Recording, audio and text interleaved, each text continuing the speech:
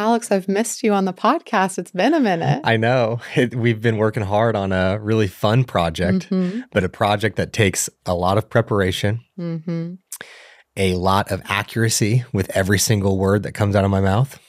Um, and so I am tremendously excited to have just a normal podcast where I get to sit and have conversation with you. I'm very excited for that as well. While I have been having the gym girl chats where I've just been able to be a little bit more casual, it's just something about being in person and chatting with you that is always very nice. And even though it's something that we have been recording podcasts together, they haven't been out for everyone to listen to and we haven't just been able to chit chat. I know. Do we want to what how much of a uh, little teaser can we give for this project that we have been, I mean, putting so We've much time dogs. into? a woof woof. A woof woof. Uh, as much as you want. I mean, this is our podcast. This our is rules. true. Um, this project has been one that has probably been the most requested from listeners. Mm-hmm. Uh, we have actually done this project before. We have taken it up a 10x notch. Yeah. Yeah. we have we have really amped things up for you guys and I am so excited for you guys to hear the quality of resource that we're going to be providing to you all for free. Um, oh my gosh, it's going to be awesome. It's going to be lit. The only thing that we ask of you all is that when this project starts and you guys will know more of the details sooner rather than later. I just ask that you share every episode. Please share it with everyone that you know. It is going to mean the world to me uh, for you to share it. That is all I ask of you when listening to this episode. Take in all the information, but we have been busting our tails to get this to come to life, and we are so close to finishing it and giving it to you all. Um, please share the podcast. Yes. And it's been a whole team effort as well, yeah. not just between Alex and I, while we have put a lot of effort into making sure all the notes are correct and recording and being able to get different guests on the podcast as well. But it has been a lot from the whole team. And it just makes me very thankful for Team PD because could not do this big of a project without extra hands involved. Yeah. So very excited for that. And I know he said once it comes out to share, you can still share episodes yeah, sh- now. Share now. and you can also give us a rating on Apple Podcasts. Go ahead and give us a review. Let us know how you're liking it.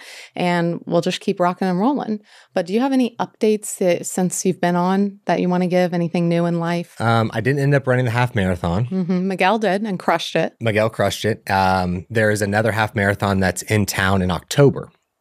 So we're kind of shifting the focus to that. And there's a, a couple of 10Ks that I am aiming for to be ready to go, not dealing with any injuries right now, zero injuries, and also running at a pace that is much more tolerable and working on my overall frequency of running, um, which has been great. I just got stitches in my head. I had a, a cyst removed from my temple, um, which has had me away from running for a little bit of time. I did not think that f- five stitches was going to prohibit me from running for two weeks, but that's where we're at. I did run very lightly yesterday and felt okay.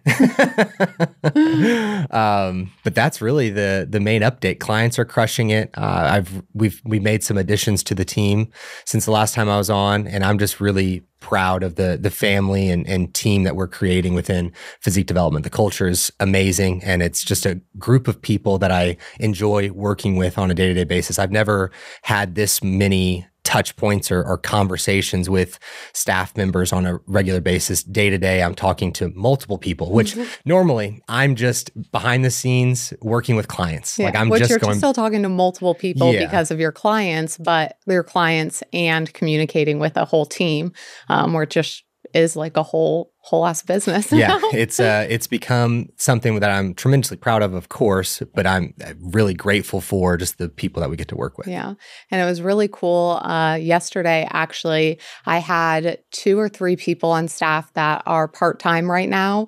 Um, they were actually talking to each other and talking about how like their dream and their goal was to go full time and to be able to be full time with PD. That's amazing. Uh, and it was just an extremely rewarding thing to hear because it's obviously sometimes people only want to be part time, they're doing other things, completely understand that. Um, and because I love the team, I'll take people how I can get them. Uh, but being able to hear like some people's overarching goal is like, I want this to be my full gig. This is the mission. This is the company that I believe in. It just like brought me to tears, honestly. Let's go. Let's go. so yeah. But today I thought we could talk about some of the natural tendencies that we have or have had and things that we are working on to to detrain in our day-to-day lives. So starting that off, do you have something that comes to mind? The first one that comes to mind for me is probably patience. I could agree with that. I am a very naturally unpatient person, person, impatient, impatient person. Um, this has been something that has been a large focus over the last. You'll probably be a better testament to this. When Your have you seen life. the improvement? I mean, I oh, understand my whole life. Uh, the improvement, I would say it's been obviously steadily improving for multiple years, but I would say in the past year or two has been where I've seen bigger strides for you overall. Um, and even more so in the past six months. Um, and even just talking about like having the stitches and patience within that. Alex a few years ago would have said, forget what the doctors say. I'm immediately going to go train. And for you to give it a full week, I know it said two weeks, but for you to give it a full week and truly listen to what was being told and then take it as easy as you did, that is like patience so exemplified in you of like that wouldn't have happened a year or two ago. Right. Uh, so I would say that in the past six months have been some of those bigger strides of just being able to be more patient with yourself, mm-hmm. patient with uh, the different moving parts of a team, and just being able to, even within outside conversations that you have or conversations um, that you just have in general, of being able to have more patience instead of being as reactive to things. Because I think that's where patience comes comes into play as well is it's like instead of having those emotional reactions of being able to kind of pull into yourself and be like, okay, woo saw, how am I going to respond to this? Yeah, I, I was going to say that the I think the first step to improving my patience was addressing my anxiety because the impatience was probably stemming from my internal dialogue within my anxiety of all the things that I have right now could be ripped away at any second. So then this pushed me into a place where if everything wasn't going perfect or was not in a very linear fashion improving, then I was becoming very anxious and worried. And that was evoking the impatient response to everything. And then that was going to lead to the emotional responses of being frustrated, um, greater temperament, whatever the case may be. Um, so my patience is something that is just continuing to uh, improve and looking at a time horizon for different things that is much longer than what I would have previously, I think also helps tremendously. So, for example, within the runs, it could have like i'm sure that there's a half marathon that i could jump into much sooner. Mm-hmm. um, but the target of october feels very attainable for me. Um, and it also feels as though that i'm not in this just mad dash rush with something that i really enjoy. And previously i would probably push myself to have that mad dash to have the anxiety and kind of feed off of the anxiety to get to the, the goal in a very hindered way. I'd, I'd have more injuries. I would have many moments where I was just like living off of adrenaline and motivation and like uh, stimulants, so on and so forth. Whereas now, looking out to October, I have a real game plan that's sustainable, adherable, and I have a gradual progression that's going to allow for me to accomplish my goal in October of running a specific time and so on. Um, that is not evoking this impatient or um, anxiety ridden approach. Mm-hmm. And now, with you saying that dealing with your anxiety, what was one of the first things to deal with your anxiety? I would say the first thing, and, and I've brought this up on the podcast before, but working through my breathing, mm-hmm. like really allowing myself to breathe deeply and exhale. And also being in this place where I'm not so rushed to make a decision on things that are presented to me because I, I, think that a large part of anxiety is just rash reactions to different things that are coming on. And I do think that that's my personal experience within anxiety. There's so much that people can experience when it comes to anxiety that it can come from so many different ways or experiences of their life. Um, but that's been my overall experience is that mine was painfully emotionally driven of responding to things too rashly, too quickly, um, and letting my emotion be the dictating force in those decisions or those responses. Mm-hmm. And I think that another thing when I look at you and your personality and just the time that I've known you as a whole is that you have adopted the thought process of you work best when your feet are to the fire. And I think that there is a lot of truth in that. Like, I'm not taking away the fact that sometimes you need to put your feet to the fire to get something done, but it's kind of like this mindset of, oh, I'm a procrastinator and I just need to get to really close to the timeline to like push myself to like get everything done. And so you'd put yourself on purpose under this immense amount of pressure or this very short timeline to then try and hack or trick yourself to get everything done. Where I feel like you've been able to work on some different things within your scheduling, within your routine, um, within your breathing, of course, different aspects like that that have allowed you to recognize of I don't need to believe this about myself that I need to put myself in this crunch time. I can have more time with this and be able to plot out what makes sense for everything that's going on, especially since now you've always juggled a lot of responsibilities, but you've only increased your responsibilities over the years. And so it's something that, to my, from like the outside looking in, it's kind of the aspect of, I can't do it with this many responsibilities and just kind of putting myself under that. I need to be able to show up in these different ways. I look at it more as a, a, tool rather than depending on it as my only tool. Mm-hmm. Uh, it was probably the the tool in my toolbox of skills that was the most beaten and battered because I would depend on it so much. Um, and I think a reframe that I was able to utilize was if if I'm so dependent on this crunch time, like I can self create this crunch time if I need to. I can say, like, I only have these two hours to work on this thing, and I can be very efficient in this two hours to accomplish whatever the goal was. Um, and so, not being dependent, as well as not telling myself that I'm a procrastinator, mm-hmm. just stop putting that over myself was a huge step in the right direction. I'm really big on what you're putting out of, of speaking over yourself is tremendously important of what is actually going to transpire. Um, you know, people saying that they are that they're poor. I am so poor. I'm so poor. It's like you are continuing to speak that over yourself. Like no matter what, whether you have a gajillion dollars or zero dollars and you keep speaking that, it's just going to feel the same way. Mm-hmm. Um, and so I, I, I find how we're talking about ourselves to be tremendously important. And so just removing the notion that I am a procrastinator at all um, and not associating myself with that whatsoever and doing the things that I know people who do not procrastinate, they do. I'm just emulating the examples that have been shown to me to be successful, and I'm following what ends up working for me. Some of the things that I've implemented from others that do not procrastinate has not worked for me, and that's okay. But some of the things that I have implemented has been useful. Mm-hmm. And I think that if we're looking at the aspect of like speaking things over yourself, there's research that even talks about this. And especially since this is mostly about health and fitness on the podcast, about dieting, of someone can be in their mind thinking that they're dieting, even if they aren't actually in a caloric deficit, and their body does show all the signs of dieting, not actually losing weight, but all of the signs of long term dieting and having chronic issues because you've been in the mindset that you're dieting. So there is a lot to show past that, of course, that what you speak over yourself or what you tell yourself can become true. Um, and same works in the opposite way of uh, we've talked about manifestation before and how you are a master uh, manifester, but it is so much of just putting something out there, saying you're going to accomplish something to then continue to lead you towards that. Obviously, it's not just I say one thing and then it happens and that's manifestation. It's like I say something and then I take the actions or do the things that I think someone who accomplishes that would do.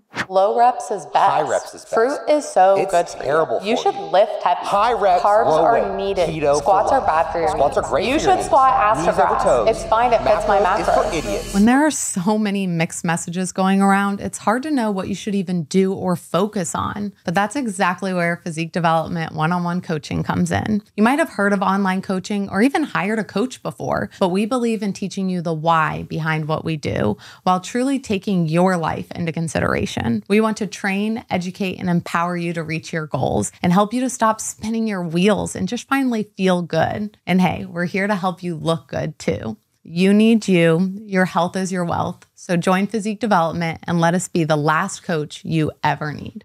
I can agree. So what's the um what is the trait for yourself that you feel like you've worked so hard to detrain? Uh, well, there's another one that I want to dig into because it's like the most overarching of my life. But I would say, and honestly, this one kind of is too, but especially if I'm talking about in the past year, the biggest thing that I've been working on to detrain is my time blindness. Mm. Now, this is something that comes along with ADHD, but this also goes with talking things over yourself of just because I have ADHD and it is a fact that I have a hard time with time and having time blindness doesn't mean that that has to be my reality for the rest of forever. And not using that as an excuse of, oh, I'm always late because I have ADHD, so I have time blindness, or I'm behind on that because I'm time blind. It's like, yes, that could be true, but it doesn't mean it needs to continue to determine every single thing in my life.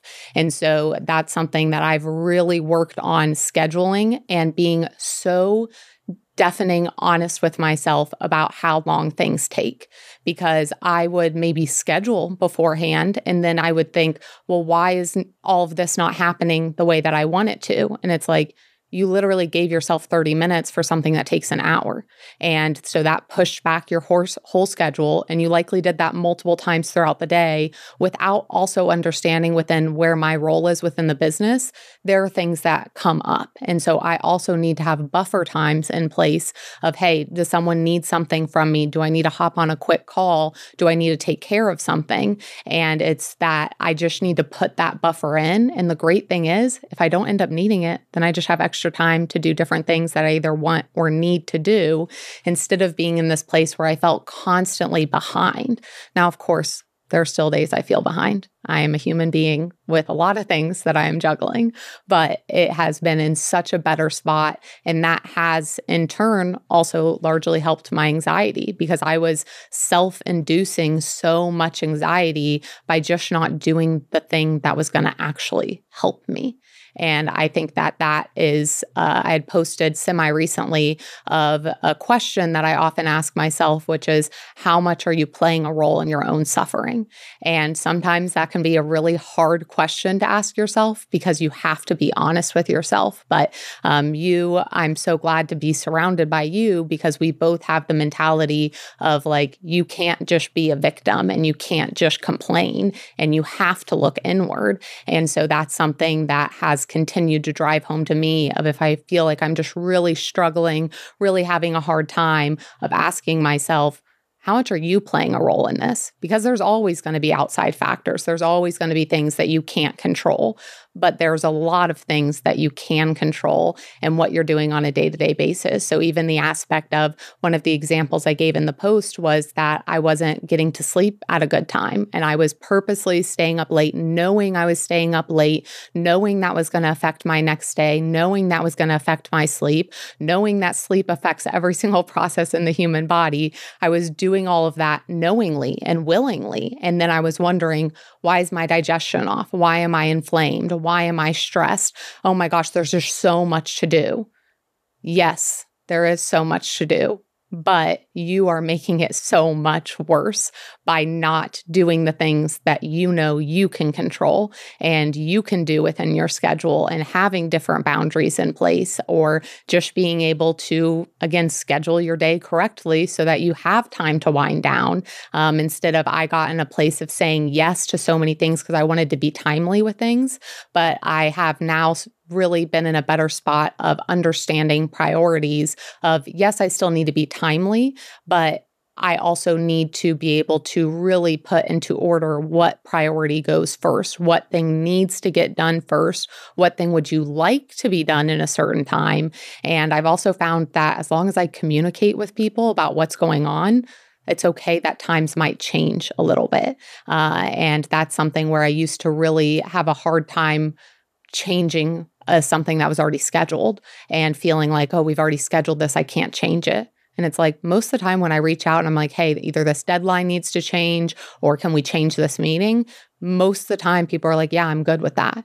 And it's also something that as soon as I know something isn't going to work, I immediately contact someone instead of like waiting up until the last second and being like, hey, I'm actually going to be 30 minutes late to this because I've been in that situation. And that can be so frustrating to your schedule. If it's like, you knew this three hours ago or you knew this three days ago, if you could have told me, I could have easily moved it. But now I'm kind of stuck in this weird limbo of trying to get everything done. Yeah. There's so much to unpack there. Let's let's start with the the scheduling and creating a schedule that's truly attainable. Um, what did you change to to go from the place of oh my gosh, I'm so overwhelmed, I have this many things to do today, to now I know what I'm actually going to do today, and I've got a better focus of where my feet are. This is the thing that I'm focused on. I'm not dwelling on this massive to do list per se. I'm focused on my singular task because I know that my day is laid out in a way that's accomplishable. Mm-hmm. There's a few things that I've done. And like Alex mentioned earlier, of their things that uh, he looked at people doing that aren't procrastinators, and some of them worked for him and some of them didn't. And it's very interesting as well because there's a lot of things that work for me that don't work for yeah. Alex and vice versa.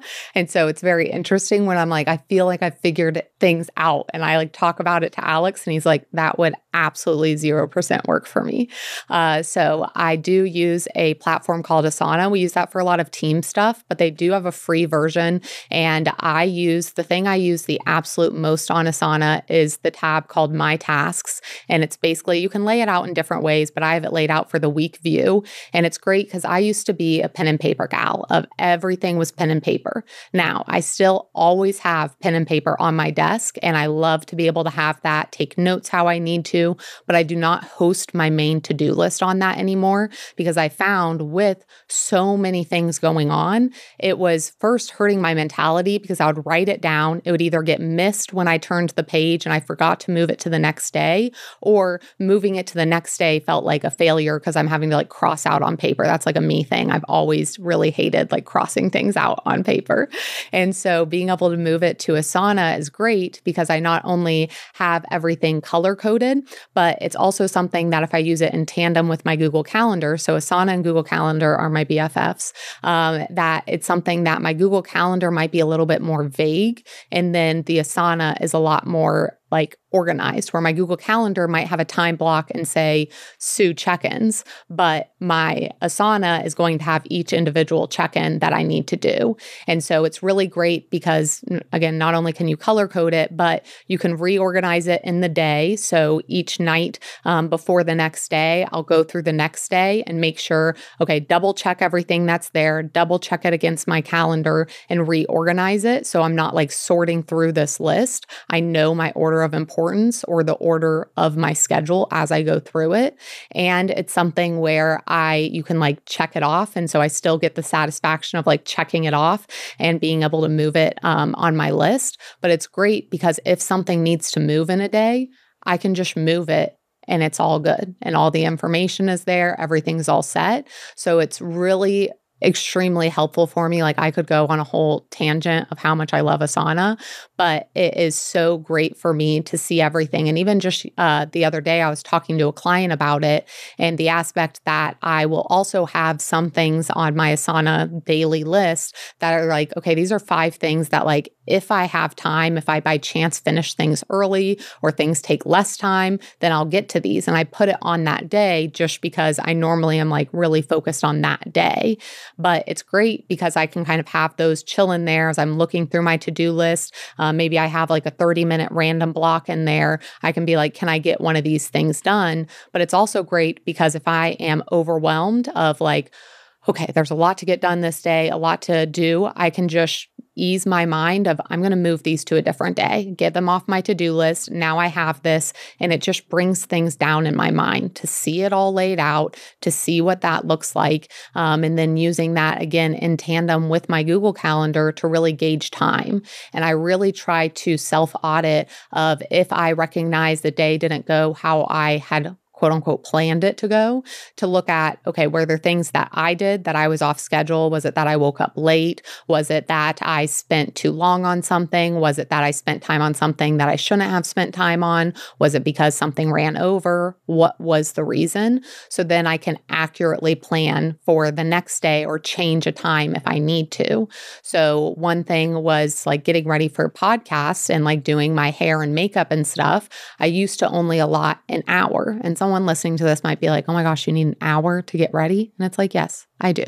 But I actually have now ended up almost always budgeting an hour and a half. And that again goes to I'd rather have a buffer and be done early and be able to do something else than maybe making all of you guys wait, being late, being rushed, feeling anxious, and feeling like I'm letting people down, letting myself down. And it's again something where a lot of times I will finish things early, but I will tell you, it is such a better feeling to finish things early and have extra time than to jam pack way too much in a day and feel like a failure at the end of the day because you did not get what you thought you were going to get done that day. And that has been a huge lesson to me is just budget the extra time even if you would have loved that it took you less time just put that in there. And there's multiple sections throughout my day that there's always a buffer, including like eating. I always put eating in my calendar for an hour long. Normally, eating will take me around 30 ish minutes, but sometimes I'm finishing up a project, I'm talking to someone on the staff, I am my maybe my mom's coming by whatever it may be. And it just helps me of like that whole hours buffered in there. So i'm not ending up being like now i need to push everything back in my day. It's like oh i'm i'm still intact. I'm still in a good spot. Yeah um for the planning side we're not that far off. I, I use the google count the google calendar is my main thing. Mm-hmm. but i also have less total different task than you do. I have more, I spend more time on specific things, but I only do a handful of specific things.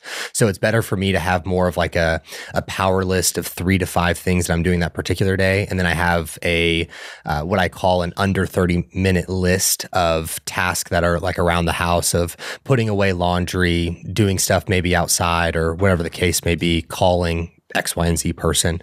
Um, so that's how I I have my written list and then I have the Google Calendar that dictates my entire life. And you know, if you even if you don't work with your significant other or anything, having a shared Google Calendar is a game changer. See, I, I, mean, when I make this recommendation to people, some people look at it and get so overwhelmed. And I'm like, it's so simple. I don't know. Or they think they're like, well, I don't work with the person, so it's not that important, whatever it may be. I don't care if it's like both of you have work nine to five and that's all blocked off. It is so nice to be able to look and be like, oh, I'm about to go on a walk. What is Alex doing right now? Or um, I'm about to eat. What is Alex doing right now? Or even just looking ahead at your schedule and being like, oh, he has a big day. If I can get his meals ready for him, this is really going to help him out. And it's just, we used to like have to repeat things to each other so many times. And we'd be like, what does your day look like today? What is this happening? And then it would just be irritating for both of us. Yeah.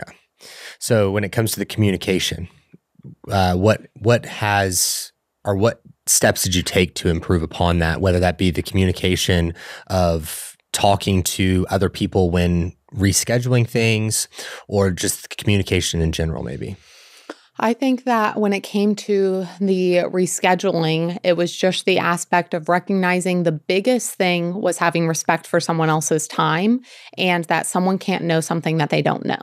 And that was huge for me of I would carry a lot of stress and anxiety on my own shoulders that I didn't necessarily need to, but it was because I was I, don't know if it was necessarily that I was worrying how other people are perceiving me, but it was just the aspect of wanting to like show up so much for other people that I ended up like taking it on a lot emotionally myself where an example of being like having a stressful week i had a week that i had to fill in for our um our enrollment advisor and it was something that i that was going to be like 20 plus hours i had to add to my week on a week that it felt like i didn't have any extra time and past Sue would have just been overwhelmed by it. And then anyone who messaged me that week on the team or a friend or whatever, I would have been very like as soon as they message me be like why are they messaging me? They don't i'm so overwhelmed i can't get back to this.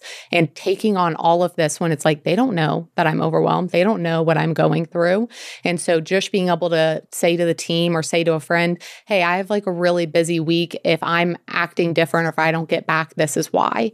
And even if someone else doesn't need that from me like maybe you're like i i don't care. You don't need to message me that. It helps my peace of mind and me to just be like they know what's going on. They're not going to read things differently. I can act in accordance to how I need to act and what I need to do to show up for these different things. And so just being able to be honest with people above all else of this is what's going on or i need to move this for this. Are you open to this? Um, and again that respect of people's time of as soon as i know something i'm going to tell someone. Even if it's 9 a.m in the morning and there's something happening at 3 p.m today i even messaged someone that i have something later today and i was like i'm going to be 10 minutes late. And it's like you could say that, oh, maybe I can make that 10 minutes up and maybe I'm not going to be. But I'd rather tell them I'm going to be 10 minutes late and then be on time and be all set to go than be stressed all day about, am I going to make it? Is everything going to be okay? And trying to make up that time that, like, maybe I can't make up. Mm-hmm. And just being able to say that to someone of this is what's going on is only going to help because so so often we just take a narrative and we run with it in our head. We make up a story. We say how someone feels about us without them saying it. And if we can just all talk better, then a lot of that can be avoided. Uh, and a lot of it can just be, uh, yeah, it can just be avoided as a whole. Yeah. Yeah. Communication is something that I feel like we've done a lot of work on, not only for ourselves, but obviously within PD and you know, with our friends and so on, it's been something that has seen so much growth because for for myself, I come from a background within my family that a lot of things were just swept under the rug and we move on to the next thing and you are expected to just understand that the person apologizes and then everything's good. And that was a hard environment to come out of mm-hmm. and work work out of uh, because it that environment breeds a chronic level of people pleasing because you're trying to just please everyone around you and not acknowledge anything that would be negative. Whereas there's not it's not a bad thing to address things that are negative. Mm-hmm. It's the best thing that you could do of just putting it on the table and saying, "Hey, can we have some conversation on this and get on the same page of my my feelings were hurt. Um, this thing happened, and I just want to have some acknowledgement around it. How can we do better about this in the future? Why did this happen initially? And having that conversation is very powerful, but it also is such a strengthening exercise if both parties can come to the conversation with an open mind and no one is coming from a place of like, you're attacking me, you are X, Y, and Z.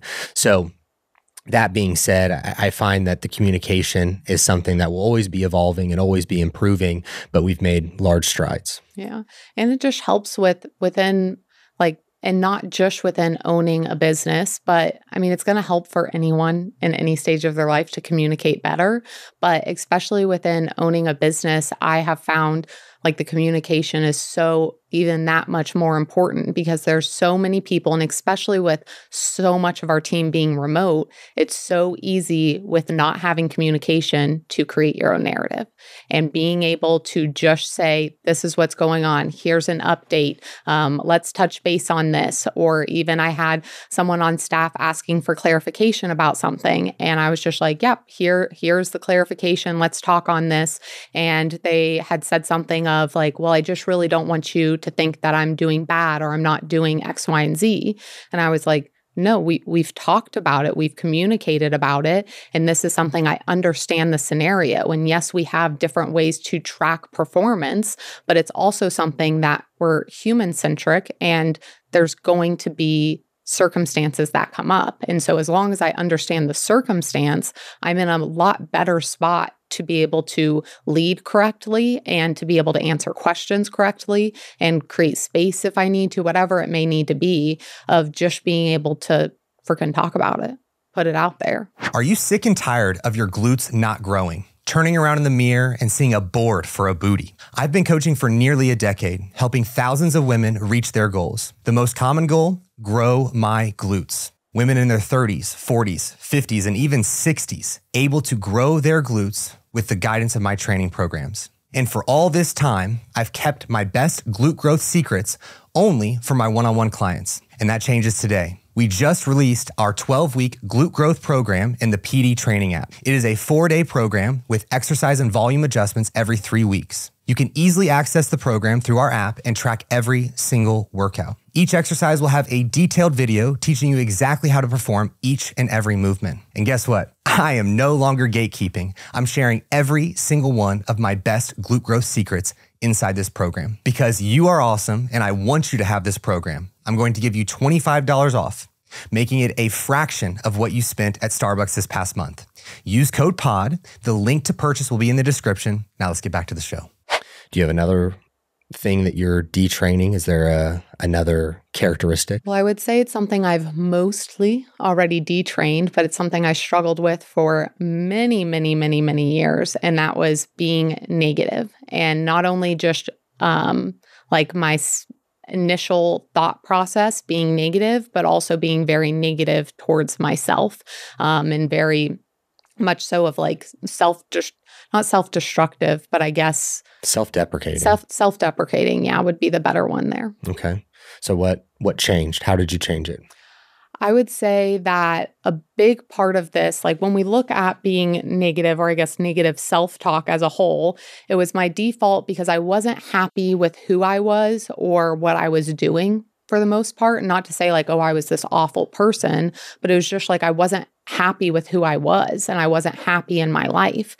And I think that a lot of that negative self talk or just saying it to other people came from this place of, I want to acknowledge it first before someone else can. Because I also came from growing up, I did get bullied a decent chunk. And so it was something that it was kind of like, I want to beat this person to the punch, or I'm going to say it and try to be funny about it before someone else can. But like we talked about earlier, you can really talk things over yourself.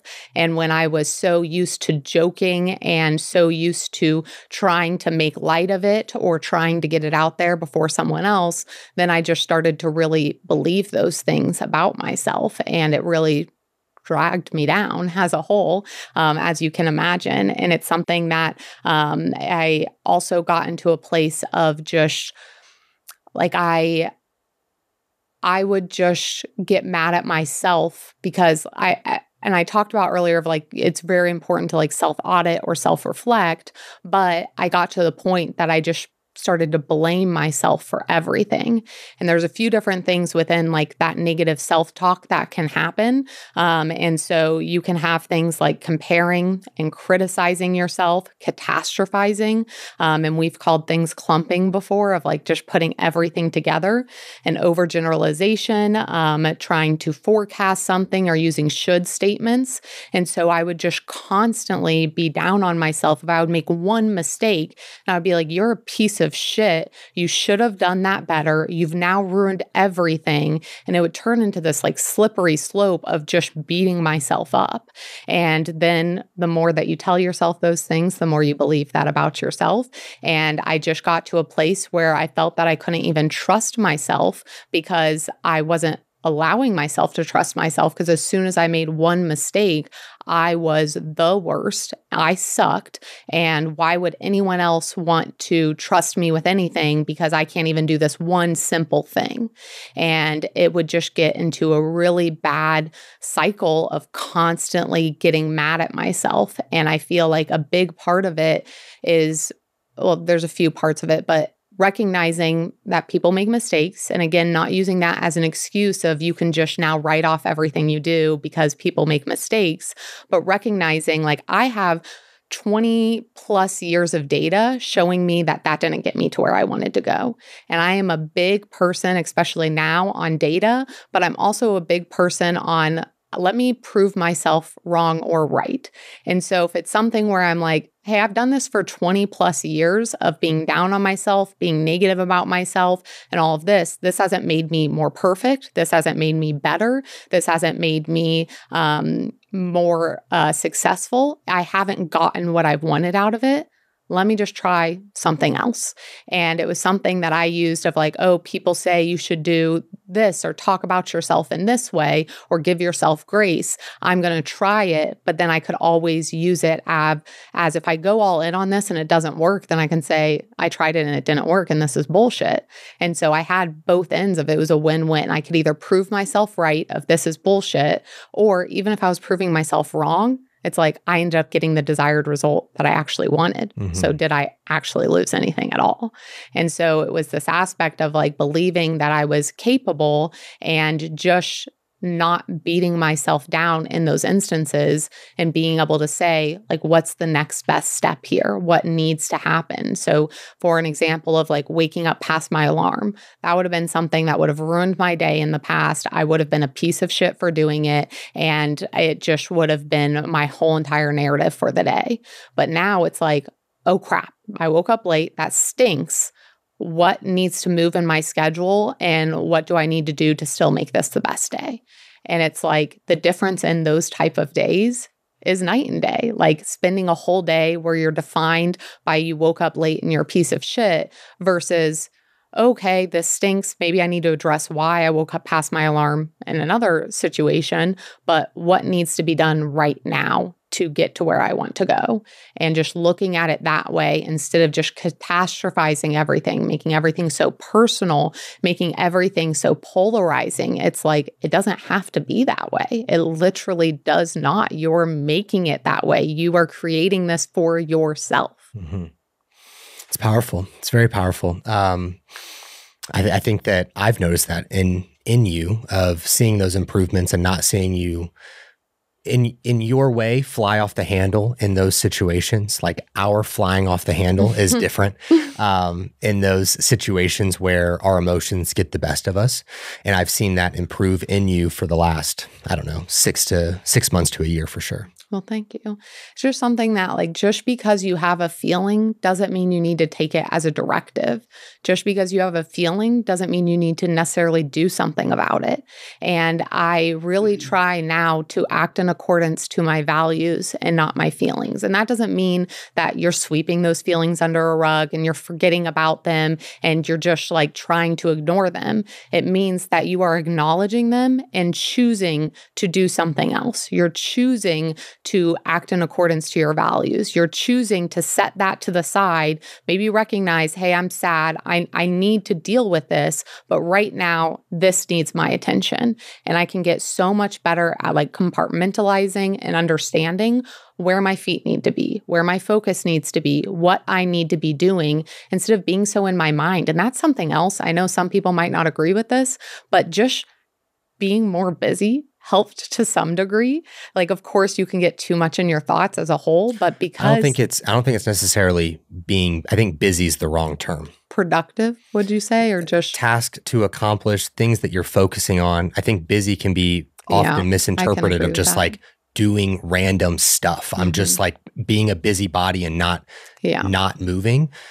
I think that it's more of having things that are important to you that you are accomplishing throughout the day that you have spread throughout the entirety of your day that you're able to move from thing to thing and just be where your feet are. Yeah. Because I guess, like, if I really do look and compare, I just had too much time on my hands before that I would sit around, think about things, dwell on things, get in my head about things. And, like, if I look back to college, of like, yes, I was taking multiple credit hours and had a job, but for some reason, I still had all this time to just sit around and think and do all that. And not that I don't take time to sit and think or sit and feel, but it's very different of like my mind needs to be focused in these areas areas. And not that I quote unquote don't have time for feelings, but it's the aspect of, again, I still have feelings and I can still feel them and I can still validate them and all that jazz, but I can also choose to do nothing about it. And I don't have to take it as a directive of, oh, I feel tired. I just, or I feel lazy. I don't want to do this thing. It's like, okay, you can feel lazy, and still do the thing. Right. You can feel scared, you can feel anxious and still do the thing. Mm-hmm. You can feel overwhelmed and still do the thing without it overtaking your entire day and life and mentality and personality. I would say one way that I worked out of that is by having the time blocks for the specific task that I would be doing. Because often when I would get bored or get in my own head, is that I would be spending too much time on a particular task. When I already know that really the time allotment that I can give to sitting at my computer continuously is two hours. Like I have a really, really focused and efficient two hours of direct computer time before I need to go and do something else. I need to go get some water. I need to go on a walk. I need to do whatever it is. Um, I would find myself being self deprecating or, or more negative when I was sitting there for three and four hours noticeably getting less efficient with the task that I was working on, but I kept telling myself like I need to finish this even though my work is getting worse, but I need to keep sitting here and force myself to finish this right now rather than knowing that I have better efficiency for the two hours windows, having a small break and then just coming back to it and having another two hours. That's far more useful than me sitting there for a continuous four. Yeah. And it's kind of like in that situation, you're pushing yourself into the box of I should sit here for four hours. And it's like, who set that? Who told you you needed to sit there for X amount of time? You're putting that on yourself when you can just look and say, what is going to work best for me in this situation? Correct. How do I need to show up for this? Um, instead of just thinking, like putting all these shoulds on yourself. I think that's another thing of like I put a lot of shoulds and it's like I I kind of get to write the rules to a certain degree. I get to decide what I should and shouldn't do and how that looks in my life. Mm-hmm.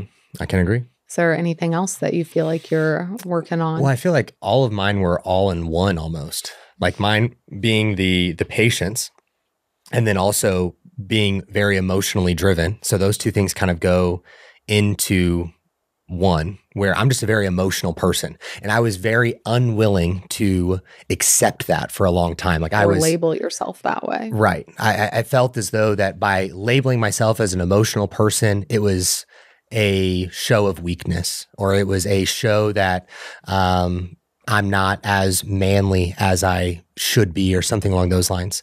And I've come to find that that's certainly not the case. That a majority of males are tremendously emotional, but they're not willing to because of the same reason that I wasn't willing to say that I was. Um, and by understanding that, I'm able to be more aware of what my common responses to situations are and then be able to maneuver my way to a place of responding to situations as I know I should, or not necessarily should, but want to. And that has been a fun game for me to be able to identify and be aware of in different situations, and then be able to make what I believe to be the right decision in those moments, and being able to give myself praise in those moments as well of, hey, you made a decision where in the past you would have made a different decision or responded differently, you should be proud of yourself for this. This is a step in the right direction. And as I've become more aware of these things, I've also become much more, um, much more excited by 1% improvements. Where in my mind previously, I would always be thinking about what's the biggest way for me to improve. I'm trying to take the biggest chunk here. And that would often lead me to a place of burning the candle from both ends and then making huge strides, but then having to take huge strides back because I was so exhausted, beat up, whatever the case is. And now I'm just focused on being literally just a little bit better than I was yesterday, and then just continuously seeing that. And I had seen graphs and things of that nature for so long, talking about how the 1% approach was so much better than trying to take these big chunks. And I was like, that's for you guys.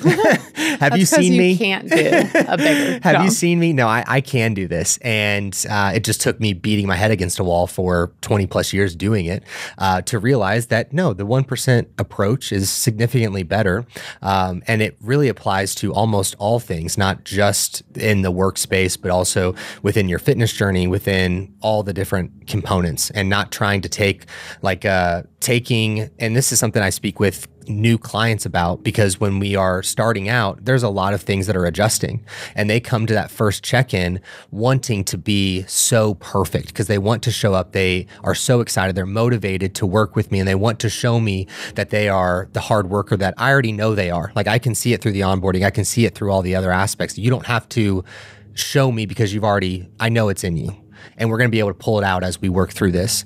But I'm in a place where it's like, I just want to see progression. I'm not trying to see perfection here. I just want to see you progress from what we had in place before we got started. Um, and that's, I, I always think a, a large relief for those clients that they come in is like that I actually have the opportunity to just keep making progress from week to week rather than it being perfection from start to finish. Yeah. And I think that that's another thing, just in general, that you've improved on is being able to celebrate the smaller wins because it used to be you go for these big things. Then when you accomplish them, you would think, I should have already accomplished that and kind of brush it off, not give yourself any praise, and then be like, what's next? And it's like, there's aspects of that of like, I love how big you dream. I love what you push yourself to do. I there's so many positives of that, but the negative was like you were never celebrating your wins and never celebrating things along the way. And I think that's even a big piece of motivation. I know we're not always going to be motivated, but when it comes to motivation, I actually do have a lot of like drive and motivation regularly because it's like, okay, this thing improved, this thing improved, this thing improved. And I get that motivation, that excitement from just being able to celebrate those things along the way instead of just looking into the vastness because that's where I feel like people lose motivation is they're look, looking at this vast space and they're like how am I supposed to get from here to here or where am I even supposed to go and it's like if you just look at what's this next win that I can get what's this next progression I can get then it's a whole hell of a lot easier to stay motivated and to stay driven because you have that in front of you and you have those wins to celebrate. You could also look at it in a way that what is the daily habits that are going to get me to that thing. And then you just focus on those. Mm-hmm. And it's like that thing that you're working towards is going to come. You know that because you're doing these things. It's the journey, not the destination. That's right.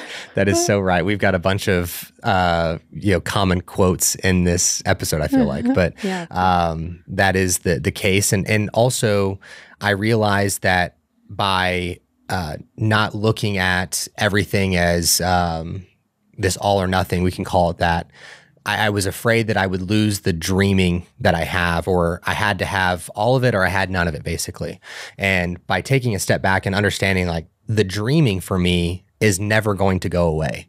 Like I see it for myself, I see it for other people. I all I see is the potential of things, and I love that of myself, and I it excites me anytime that I get an opportunity to talk about it.